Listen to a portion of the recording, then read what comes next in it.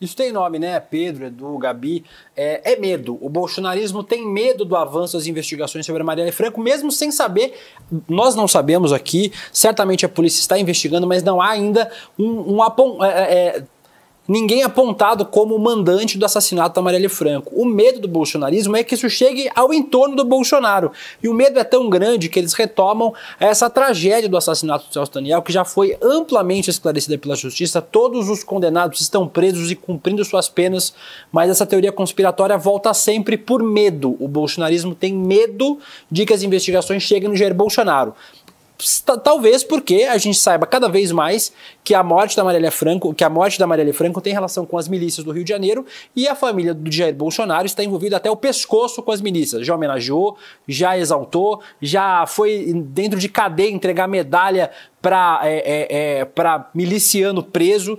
Então, obviamente, vai chegar cada vez mais perto das milícias e como os Bolsonaro dormem abraçados com as milícias, talvez chegue perto deles também, Gabi.